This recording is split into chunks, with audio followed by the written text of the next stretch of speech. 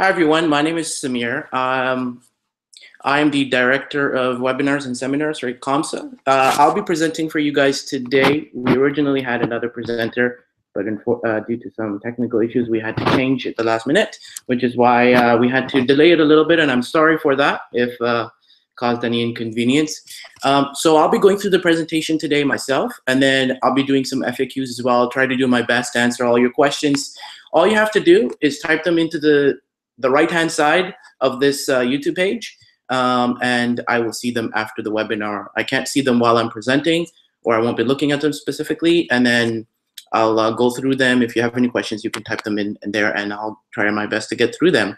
Uh, so without further ado, let's begin this webinar. Just give me one moment to uh, get it up here.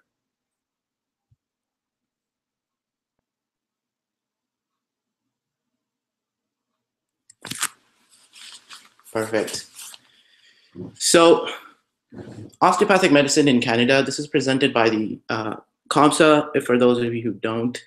Um, yeah, COMSA is the uh, Canadian Osteopathic Medical Student Association. You, we have a Facebook group. If you don't know about it right now, the address is right there. Do go join us. We also have a group for pre-med students.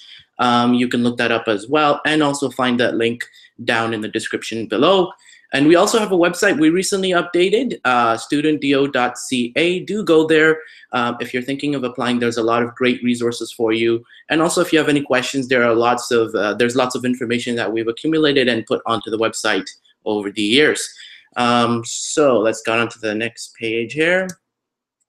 So a lot of you might be wondering what what is a DO? It kind of sounds like optometry or chiropractic, you, you're not really sure what it is. Well, DO is uh, equivalent to an MD. It's a professional degree uh, at a doctorate level, and it stands for, as you can see there, the Doctor of Osteopathic Medicine.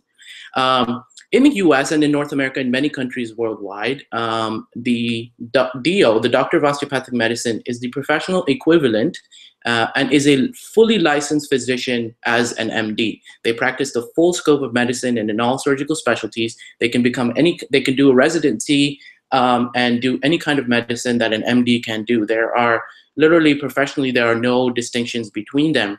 Um, the only difference is that during medical school, um, they go additional, they undergo additional training in manual medicine, what's called osteopathic manual medicine, and therefore OMM. And these are typically these night classes or uh, classes in the evening that you take um, a couple, few times a week for the first two years of school, um, and you get you become uh, proficient in osteopathic manipulation, and that is essentially the the most the biggest difference in terms of the curriculum uh, between the DO and the MD uh, approaches. Uh, the second is a, a philosophical approach, uh, a, a, philosophical difference. And DOs really believe in a holistic approach, which means that we try to take care of the patient as a whole instead of uh, just a part. So for example, if a person comes in with a, spe a specific illness, rather than targeting that illness and trying to stabilize that, we, we think we listen to the patient and we try to take care of their problem uh, with respect to the entire individual and their entire story. So it's a humanistic approach to medicine. Um, although that is, you know, uh, that philosophy is now also, um, you know, bleeding on to our MD colleagues as well. So, you know, that difference is eroding a little bit more, but it's still uh, somewhat uh, prominent among DOs. Oh, I just was just speaking about that, going on to the osteopathic philosophy. So uh, osteopathic medicine was founded um, in the late 1980s, sorry, 1800s, uh, late 1800s by an MD by the name of Dr. A.T. Still. Um, and he wanted to focus, he wanted to shift the focus of, of health medical care at the time from really being disease centric to being overall health centric. Um, you know, so disease can be something physical, whereas health uh, can be psychosocial, mental, um, behavioral, spiritual, um, and, and, and encompasses the disease portion of it. So there are four tenets of osteopathic medicine. Um, and you can see them there. The human being is a dynamic unit of function, which means that you know we are we are always changing and adapting our body. And when we say human being, we're referring to the body, but also our physical and psychosocial mind. Um, and that the body possesses a self-reg self-regulatory mechanisms which are self-healing in nature. Um, and so essentially, the osteopathic philosophy uh, through OMM believes that if you if you help the body to position itself in the most optimal way, that it can uh, that you can facilitate uh, the the body's healing on its own. Um, and it can solve a lot of problems. Uh, structure and function are interrelated at all levels, um, and that the rational treatment is always based is based on all these principles. Uh, so essentially, we try to the osteopathic medicine philosophy will try to rely less on medications and and surgical procedures and try to do the more conservative humanistic therapy before uh, we go to the other aspects of it. So osteopathic medicine eh, is, is the fastest growing segment of healthcare populations in the United States. Um, right now, there are 30 colleges of osteopathic medicine, and um, there are over 40 locations in, the, uh, in 28 states. Uh, 30 colleges and 40 locations because some colleges have more than one campus. Um, so, for example, AT, um, sorry, the, the uh, Kirksville School also has SOMA. Uh, KCU is opening a second one in Joplin. Um, uh, PCOM has one in Georgia. Um, so there are some schools that have more than one, more than uh, one location. So more than 20% of the medical schools, uh, medical students in the U.S. are being trained uh, to be DOs at the at the moment, and this, as you can see, is expected to grow uh, to 25% by 2020. So the segment of uh, of medical professionals, the medic um, medical doctors, um, in the U.S. that are that actually have a DO de degree is increasing, um, and therefore we hope that the awareness of DO also increases. So right now there are about 80,000 DOs practicing in the U.S. and again that number is expected to increase by 2020, as you can see, to 100,000. So uh, the doctor of osteo, this is a big this is a very important slide because in Canada, we don't actually have any osteopathic medical schools, so to speak, but we do have um, uh, osteopathic schools. Um, you might be familiar with the Canadian Academy of Osteopathy in Hamilton, for example. Um, the difference between the traditional osteopath, what, what, those that you can find around in Canada, and the doctor of osteopathic medicine, um, which are the DOs who graduate from medical schools, key, key term there, medical schools in the US, is that the DOMP, the doctor of manual practice, doctor, doctor of osteopathic manual practice, is only licensed to practice manual techniques, or so the manual is a, is a purely manual practitioner. So it's not medical school. They don't, they can't do surgery. They're not a licensed physician. They cannot register to be licensed physicians eh, um, anywhere else. So they cannot prescribe medication or perform surgery. Um, education is completely different. So education required is um, to be an osteopathic manual practitioner is available in many other countries. However, you can only become a doctor of osteopathic medicine um, and a licensed physician in the U.S. right now. So, you know, there are some there are some osteopathic programs in Spain, but those are not medical schools, um, and they're similar to the one that we have in Hamilton. Um, and that's because when the philosophy first originated in the United States, it emanated into other countries as people traveled and took the philosophy overseas. However, they never really became full medical schools uh, like the ones in the US did. Um, similarly, these the deal there are no traditional osteopathy schools in the US anymore. Uh, there, you cannot be a DO in the US and not be a physician. Um, all school, all DO schools in the U.S. will train you to be a medical phys- uh, medical practitioner. So there you go. As uh, it says, only graduates from U.S. osteopathic osteopathic medical schools can call themselves physicians. Um, and uh, something I just wanted to add, uh, the US osteopathic medical schools are also recognized by the Medical Council of Canada, the Royal College of Physicians and Surgeons of Canada, and the College of Family Physicians of Canada. And at the, at the provincial level as well, um, the College and Surgeons and Physicians of Ontario, uh, you can go onto their website, the CPSO, and, and find uh, legislation to that effect. So DOs around the world. Um, DOs are not quite as recognized yet as MDs are around the world, um, uh, but awareness is increasing. So right now we have the rights, unlimited practice rights in about 60 countries, and it's increasing all the time. Um, so they are recognized as physicians in those one in those countries and can practice. However, like I said before, osteopaths who went to osteopathy school outside the United States are not eligible for licensure in those countries. Um, in the UK, for example, uh, students can take osteopathy there, but they are not physicians. However, US trained osteopathic physicians can go to the US, uh, can go to the UK and register to be a uh, licensed physician. So US trained DOs have full practice rights in Canada as well. Here's a map where you can see um, so those countries in purple are the one the countries that do allow American DOs to come in, but do not give them the right to practice medicine. They are allowed to do uh, manual manipulation, but they can't actually practice um, full medicine, the full scope of medicine. And the ones in the orange are the ones that um, we do have, uh, you know, practice rights with at least one physician being there.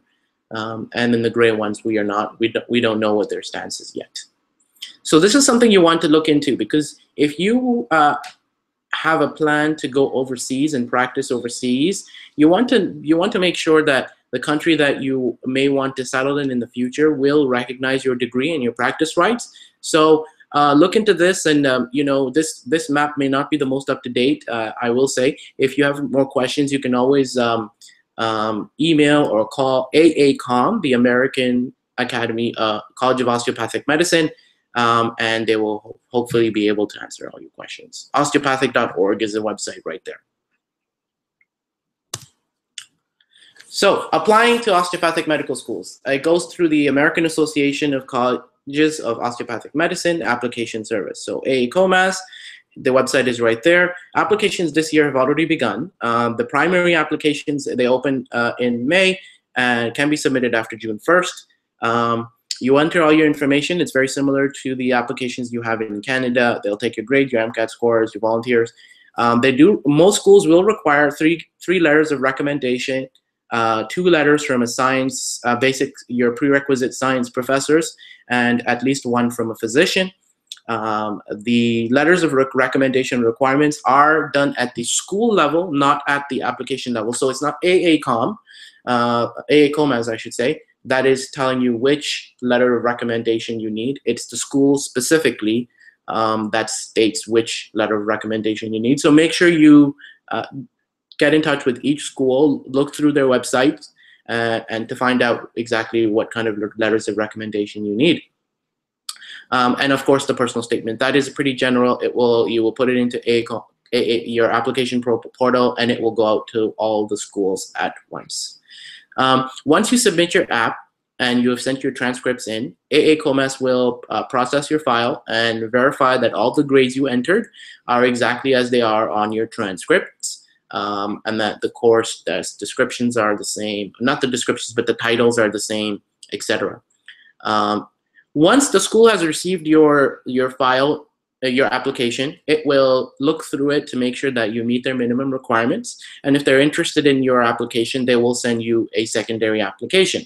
A lot of schools will send, uh, some schools will screen. So some schools actually look at your file um, and only send secondaries to the candidates that they are interested in. Um, and some schools do not screen. They will literally send a secondary to everybody who applies to them. Um, and the reason for that is secondary applications cost money. So uh, just beware of that. Secondary applications typically they um, they want the, you to answer more essay style questions. Some of them will require you to retype all your extracurricular activities. Um, I know CCOM and uh, and um, with as so CCOM and AZCOM will require you to upload a resume.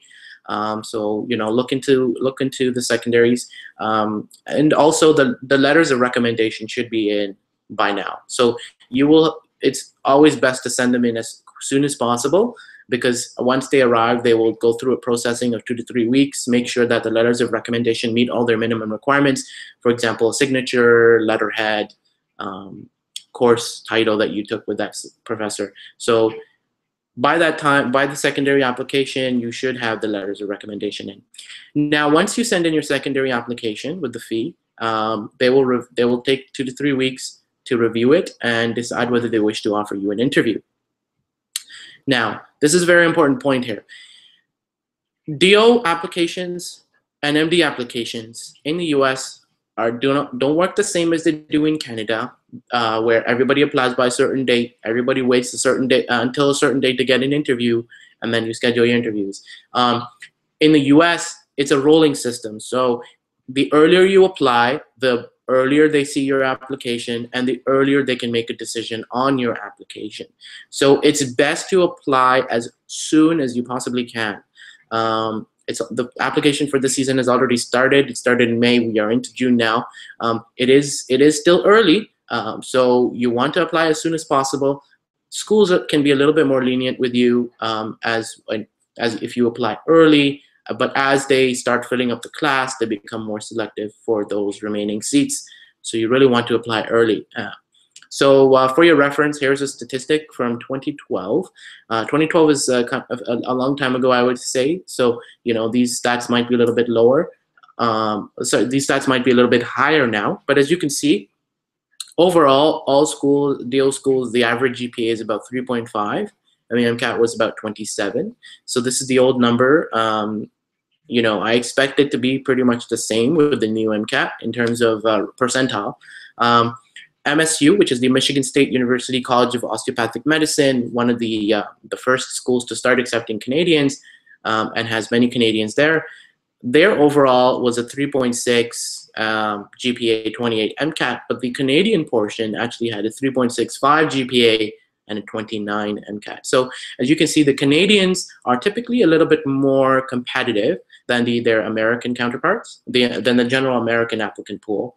Um, and I believe that that's going to just going to start begin increasing as more and more Canadians apply for those seats, uh, specifically at M MSU because it limits the number of Canadians uh, that can be admitted to, I believe, 20 or, or 25.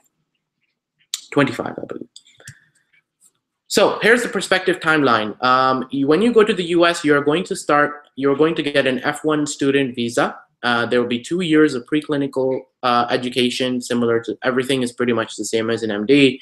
Um, then there will be two, your years three and four will be your rotations, after which you will go into a residency.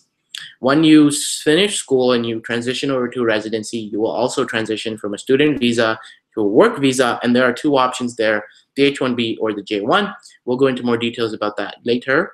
Um, the big difference between medical education in the US and Canada really are these board exams. As you can see, uh, there is a step one board exam. This is the US medical licensing exam or USMLE. You may have heard of that, the step one.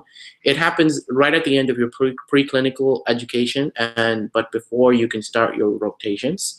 Um, Yes. Uh, so essentially, you will get a score on that, um, and it's a very important exam because it helps. It it kind of limits you in terms of your performance on that will kind of determine what kind of residencies you are going to be competitive for.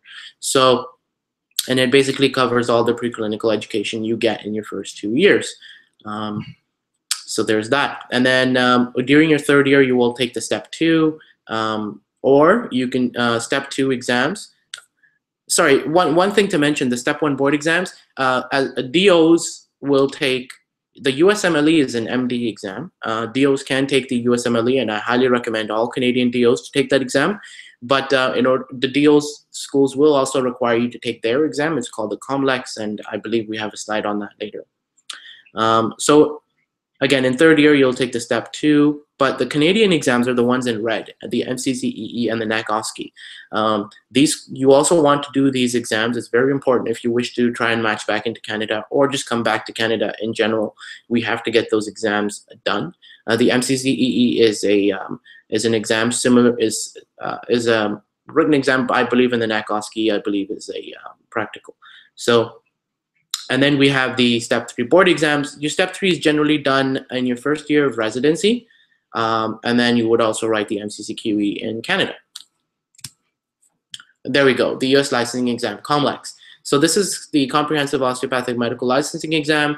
Um, COMLEX is the series of exams that uh, is equivalent to the USMLE. Uh, not exactly the same in terms of the question types and content, but um, COMLEX is the ones that all DO schools have to take, and then the USMLE is the one that MD students have to take. But like it says there, many DO students will take the USMLE as well, uh, just so that they have access to a little bit, a few more residency options. Um, uh, program directors and residencies are far more familiar with USMLE than the COMLEX score, uh, specifically, especially the ones that grant visas to Canadians. So it's best if you do the USMLE. Um, all Canadians should definitely try to do that. Um, so like it says there, both COMLEX and USMLE test the same basic sciences and COMLEX has an additional OMM section. So Canada no longer requires a USMLE or licensure, COMLEX will suffice. Um, although it does say that, I still highly, we all, it is still highly recommended that you do the USMLE simply for, um, like I said before, most program directors are not quite so familiar with the COMLEX. Um, they're much more comfortable looking and uh, comparing you with other students based on a USMLE step one score. So at least do the step one. Um, I think that's, uh, that will be important. So um, this basically uh, divides those uh, three, the US step one, step two, and step three, like we talked about. The uh, step one is taken right after your second year of medical school, test your basic science. Step two is taken between the third and fourth year of your med school. It's focused on your clinical medicine. Um, um, yeah, and then step three, which is taken right after in your first year for residency, and it's your final, uh, your final uh, part section of the USMLE um, and it's your advanced clinical knowledge. And the COMLEX have the counterparts to each and every single one of those. So here we have it again. And you can see here when you take your step one, step two, and step three. So a little bit more information about visas here. Um, like I said before, all Canadian students who go into the US or any international student who goes to the US to study as uh, will be on an F1 student visa. Um, your school sponsors it, they send you a form. However, you do need a financial proof uh, at the border when you go down the, you will be asked to provide financial proof um, that you can in fact support yourself and pay for your education um, while you are in the US. So keep keep keep that in mind. Typically, if you have a student line of credit, and uh, nowadays because the dollar is quite low, you will need more than a, one student line of credit. Um, you might need some other source of funds. Together, you can you can um, bring those together. Together, you can provide them enough funds to show your the the border that you have enough funds to cover your education. And then there's the J1 visa and the H1B visa. These are both work permits or work visas. Um, and essentially these come kick in when you have to transition to these after you finish your school and you begin your residency. Uh, the J1 visa is by far much easier to get than the H1B.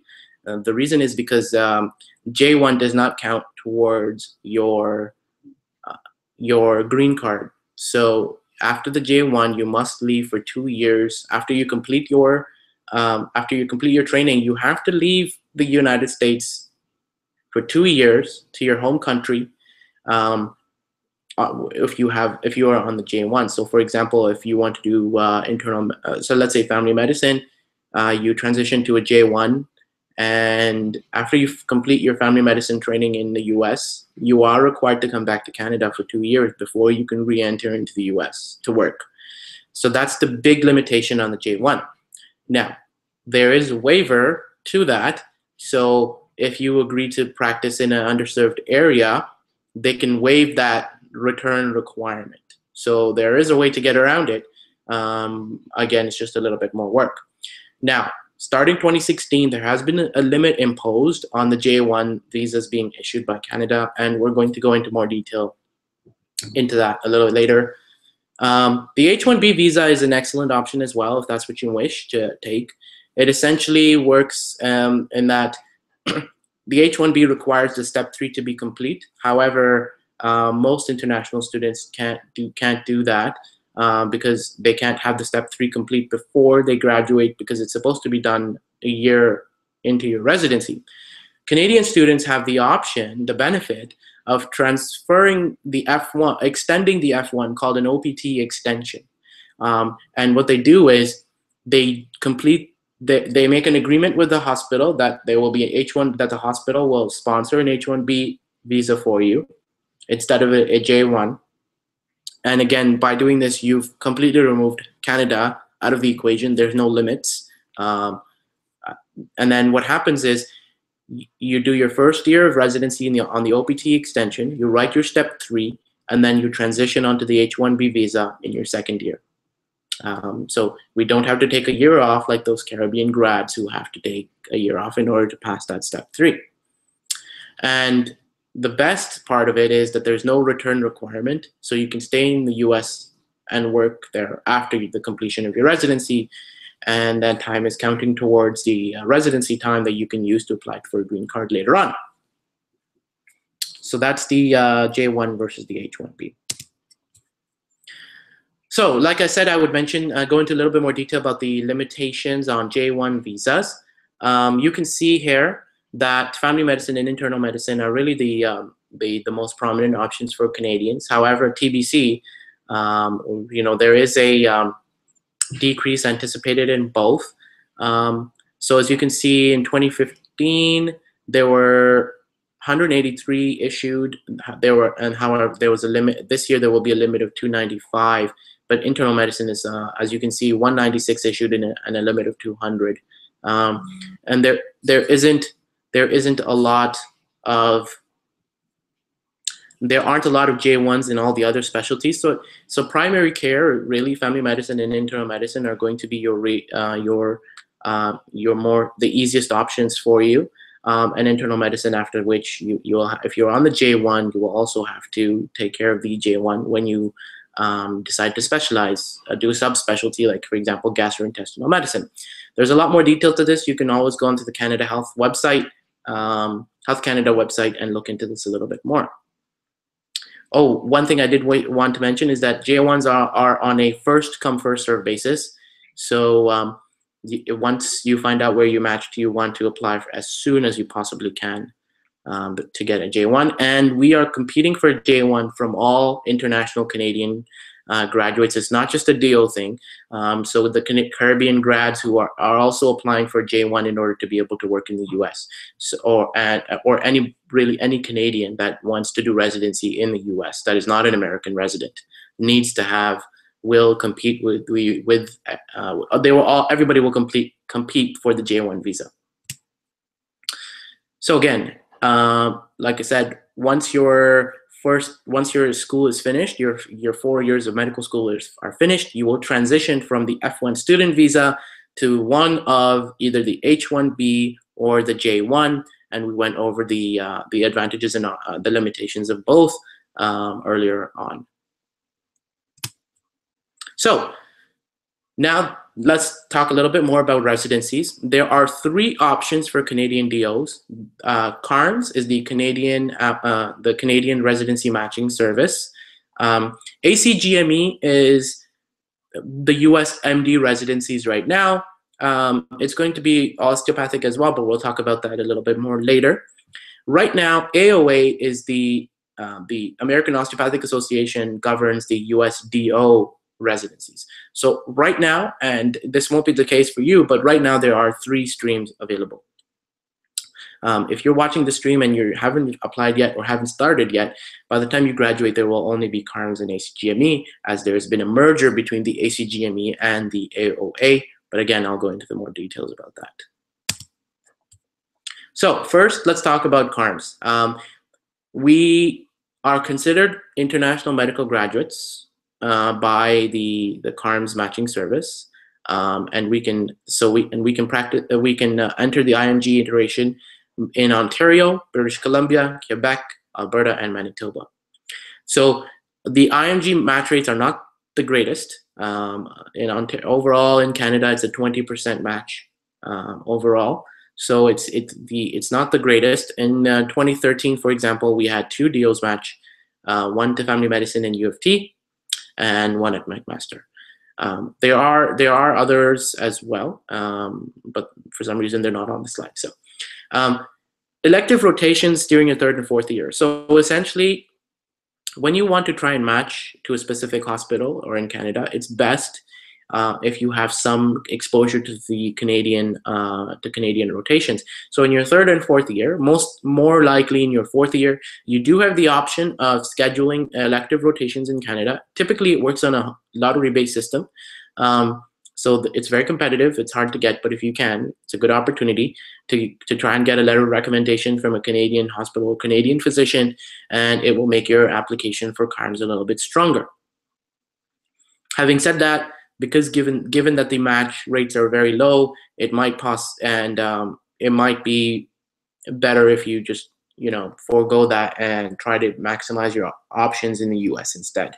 So optimizing your application for CARMS, really, you have to make sure you pass the MCCQE and the NAC We talked about that. That's going to that's around in your between your third and fourth year of medical school, and you also really want to have amazing letters of recommendation, uh, very strong letters of recommendation from the physicians that you rotate with.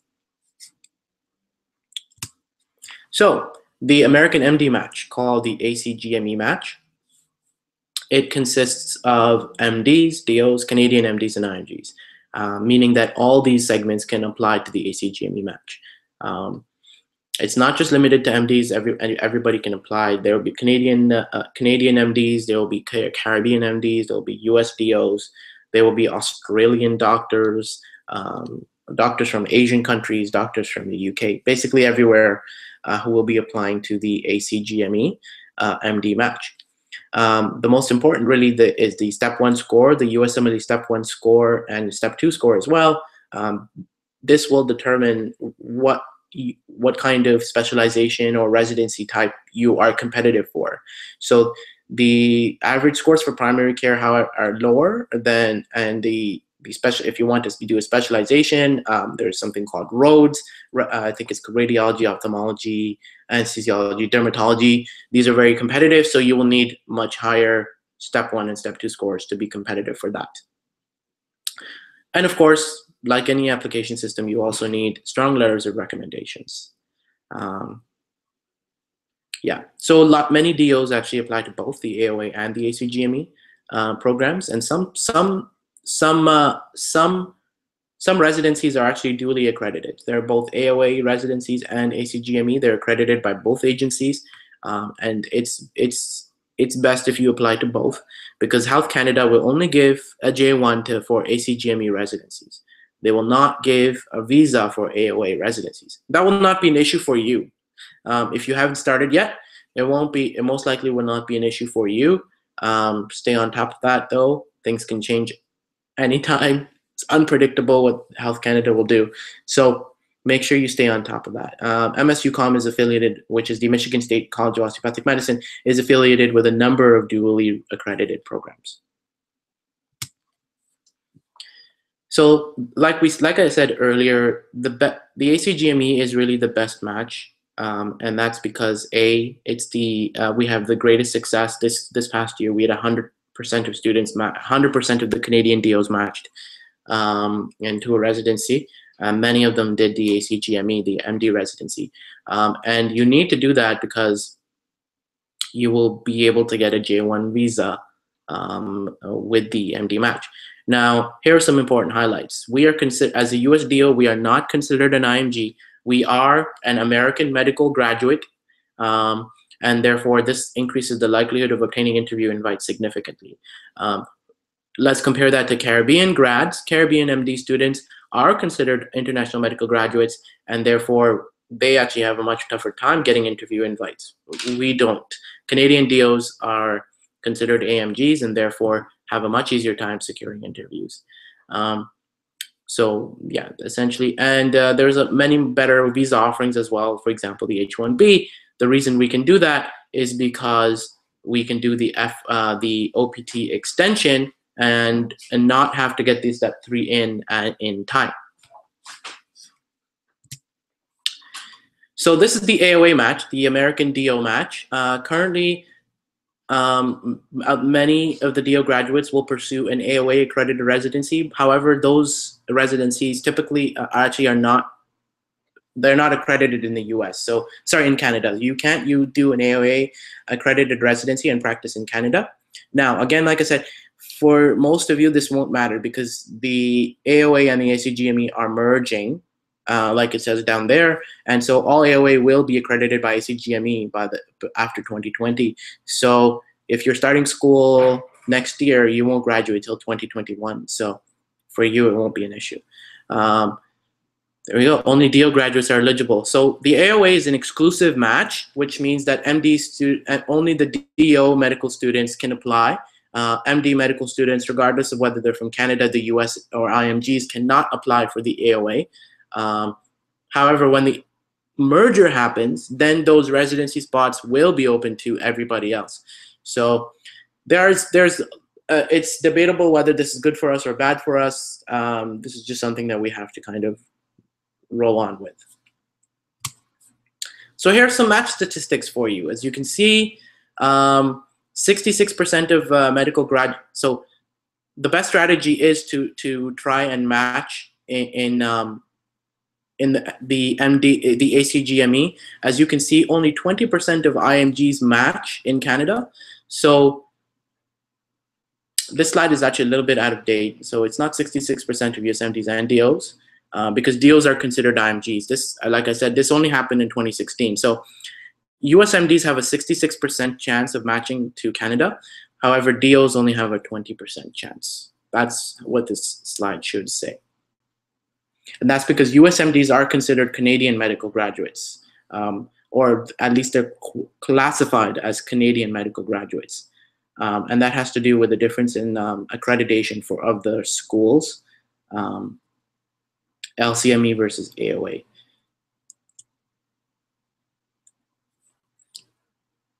So the best strategies, because because we only have a 20% chance of matching back into Canada, the best strategy, uh, if you're a Canadian DO, is to pursue a residency in the United States. Uh, because you can see, the look, have a look at those numbers. Um, osteopathic med schools over here, it says 77%. This is a little bit out of date, 2014. This year, it was uh, it was it was much higher than that. It was close to like 84, 83, I believe, and it's increasing every year. If you compare that to Canadian medical graduates who apply to the U.S. for residency, you can see it's only 43%. Even worse, if you go to the Caribbean MD school, you will have a chance of matching 49.5. So if you are considering Caribbean medical school versus a US DO school, just look at those numbers.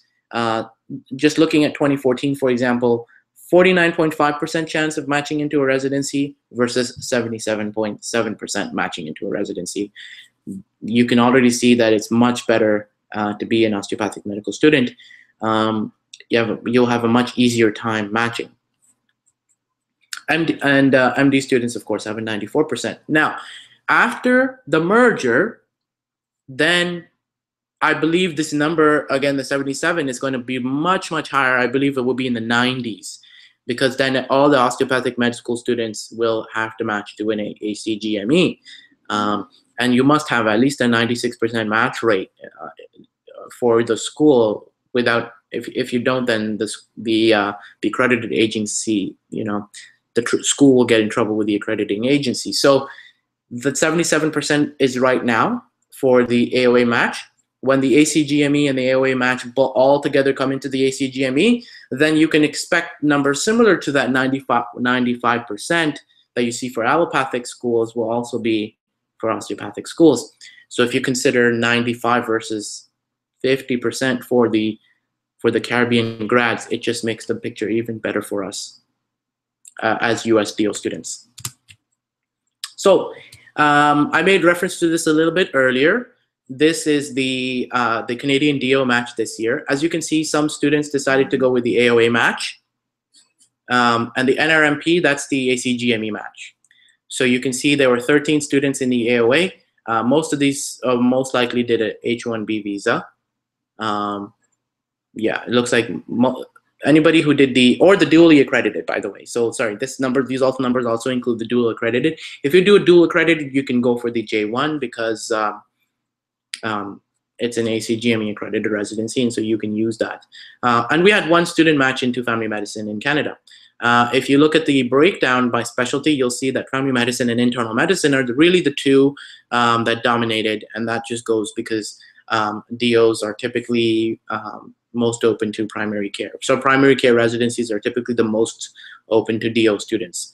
Um, having said that, um, if you work hard and you're focused and you have a good resume, you can definitely do, sorry about that, you can definitely take on radiation oncology, psychiatry, anesthesiology, you know, the world is your oyster. You just have to make sure you work hard for it, right? So, like I said before, in order to get an F1 visa, you do have to show financial proof. So, and your schools are right now a little uh, quite expensive, uh, given that the Canadian dollar is a little bit lower. Um, OSAP will provide some assistance for you, about $10,000 a year. Um, you will, so if you're, and, and then a student aid BC works as well. Um, the estimated cost of attendance there, it says around 300,000. I would say it's close to 400 now with that the Canadian dollar has fallen. It's not at par anymore. Um, and Canadian DO school, sorry, American DO schools are eligible uh, for the student lines of credits, the professional student lines of credits uh, for medical students at uh, many, uh, most of the major banks. Um, and you can see that there's a difference in the amount of money that um, they give. So CIBC is typically the best the best option um, for American DOs, Canadian DO students right now because they offer the most amount of money. I believe BMO is uh, 150, not 250, uh, uh, 150,000. Um, or maybe that's, uh, sorry, that's RBC. RBC is 150,000. So shop around, make sure you talk to, uh, make sure you talk to all the banks and not just one and uh, make the best decision for yourself. So I refer to this as well. MSUCOM was one of the first schools um, that started accepting uh, can, uh, Canadians. And each year they have a program, they have an initiative, so to speak, that accepts 20 to 25 qualified Canadian students a year. Um, typically, the out-of-state student uh, to out-of-state tuition for uh, MSUCOM is 80,000. However, Canadians will get a scholarship um, that reduces it by 20,000. So you get $80,000 scholarship. And so it's essentially around $60,000 that you have to pay for your tuition. Still a little bit more expensive than other schools. Uh, so make sure you're aware of that. However, MSUCOM is an excellent school. It was ranked ninth in the US for primary care in 2014. I believe it's ranked somewhere between 11 and 12 right now. And there are many Canadians. As you can see in 2015, there were 15. In 2016, there are 20. Uh, for the 2017 class, they have 22, and the ones graduating in 2018, there are 22 students. So there are many student, there are many Canadians. Um, I think those um, those are pretty much the highest numbers I think you will find in a DO school uh, as for Canadian students. So here's a picture. Um, you might recognize some of them. Yeah, you might be able to recognize some of them here. So, all right. So the Canadian osteopathic medical students.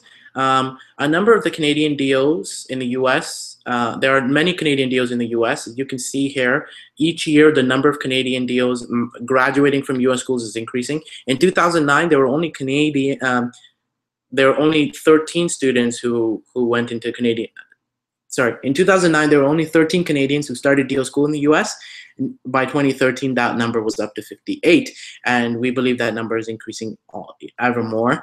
Some of the more prominent schools that accept Canadians are listed there. MSU is Michigan State University. UNE is uh, New England University, University of New England. KCU is Kansas City University of Medicine and Bioscience.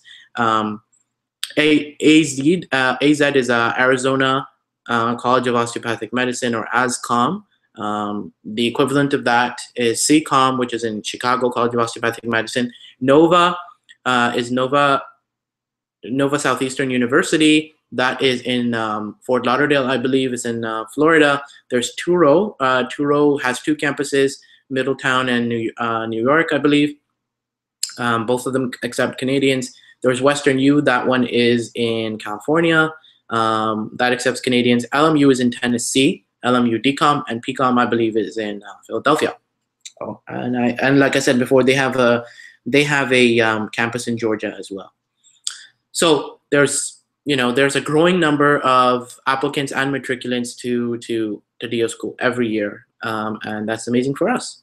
You can go and look at more information if you like at the link right at the bottom below, aacom.org slash data slash applicant matriculants. So you can see here some of those schools that I mentioned before and how much their tuition is. Um, and you can see whether it's a little bit lower stats or higher stats, so you can have a look. Um, it does say low stats for Nova Southeastern University. Having said that, I believe they're a little bit more um, they're a little bit more strict with Canadian applicants. So it's not quite as it's not quite low. I would say it's a little bit average or better. Uh, however, take note that Touro, AZCOM, and CCOM they're quite MCAT heavy. So AZCOM and CCOM most likely won't uh, interview you. Uh, for the old score, it was a 30. I'm not sure what the new score, but they won't interview you in the early stages if you don't have an MCAT uh, at 30 or above.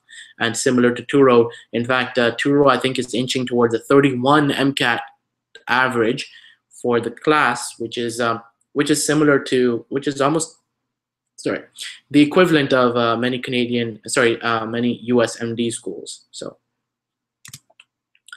so for more information, you can always uh, go to these websites. Uh, like I said, we have a Facebook group uh, for the Canadian DOs, and also we also have a pre-med one on Facebook. So do look into that. Um, also, subscribe and like this, uh, comment on this YouTube channel if, if you like. If you want to see more videos like this or more, get more information, participate, uh, definitely subscribe and uh, stay up to date. Michigan State University has a uh, College of Osteopathic Medicine. You can visit them um, to find out a little bit more about osteopathic medicine if you like, or just about applying, or about that Canadian Initiative program. StudentDO.ca is the website for the uh, the Canadian Osteopathic Medical Student Association. Uh, that's us. That's um, that's uh, basically the organization that's running this presentation right now, um, and helps to uh, lobby on your behalf as a student. Um, there is a, a, a, Canadian Osteopathic Association, so there are many DOs that are practicing in Canada right now. They have an association. It's called. Uh, it, you can visit that at osteopathic.ca. And the equivalent of that, the, the much larger one, is the American Osteopathic Association, and you can visit their site at osteopathic.org.